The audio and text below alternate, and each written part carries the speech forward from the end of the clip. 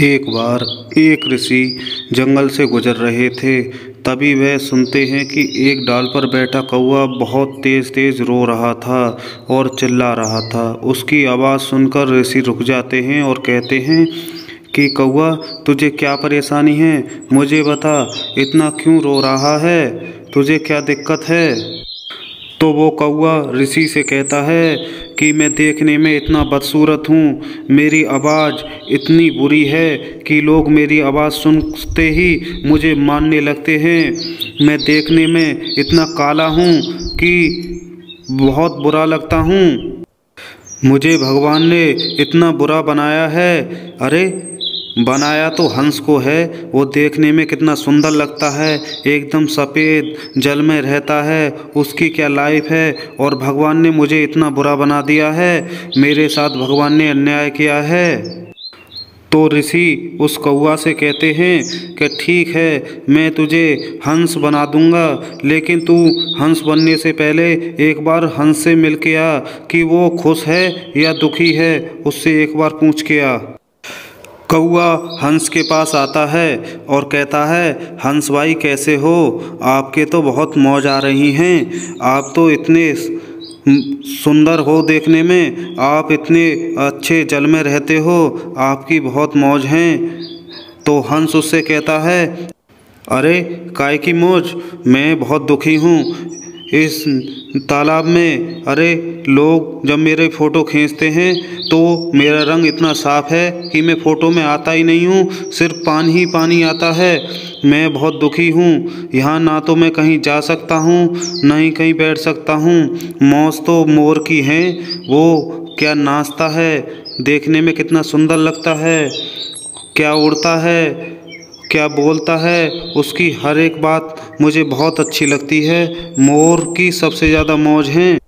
तो कौआ हंस से कहता है, चलो, ऋषि के पास चलते हैं। उन्हीं से परामर्श लेते हैं।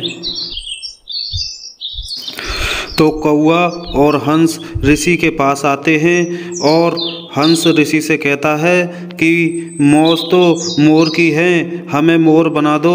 मोर देखने में कितना सुंदर लगता है। वो जब नाचता है तो सभी लोग उसे देखने लगते हैं। वो जब आवाज़ निकालता है तो बारिश हो जाती है। और मोर जब चलता है तो उसकी चाल देखने लायक होती है। मोर देखने में काफ़ी सुंदर लगता है। हमें आप मोर ही बना दीजिए, हमें और कुछ नहीं बनना है। ऋषि उन दोनों की बातें सुनकर उनसे कहते हैं कि ठीक है, मैं तुम्हें मोर बना दूँगा, लेकिन मोर बनने से पहले एक बार तुम मोर से मिल के आओ और उसकी हालचाल पूछ के आओ।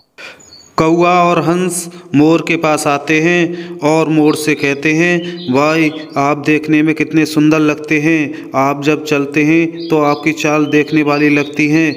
आप जब बोलते हैं तो बारिश हो जाती है। आप की तो मौज हैं।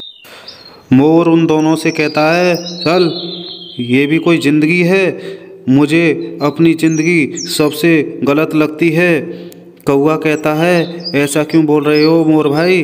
मोर कहता है हाँ जिन पंखों की तुम बात कर रहे हो ना, ये शिकारी इन पंखों को पकड़ के नोच के ले जाते हैं और बाज़ारों में बेचते हैं। हर वक्त ये डर लगा रहता है कि कोई शिकार ना कर ले। मुझे सोते में भी डर लगता है। तो कौआ मोर से कहता है तो फिर ज़िंदगी किसकी अच्छी है? तो मोर कहता है कौआ सबसे ज़्यादा मौज तुम्हारी हैं। तुम्हारा ना तो कोई दुश्मन है और ना ही तुम्हें कोई मानने के बारे में सोचता है। मोर, हंस और कौआ तीनों ऋषि के पास आते हैं और ऋषि उन तीनों से कहते हैं कि हमें कभी भी दुखी नहीं होना चाहिए। हमें भगवान ने जैसा बनाया है, खूब बनाया है। हमें उस भगवान की रचना पे कभी भी दुखी नहीं होना चाहिए। हमें अपनी योनि में खुश रहना चाहिए और भगवान को कभी कोसना नहीं चाहिए। उन तीनों के ऋषि की बात समझ में आ जाती है और वह समझ जाते हैं और खुशी खुशी रहने लगते हैं।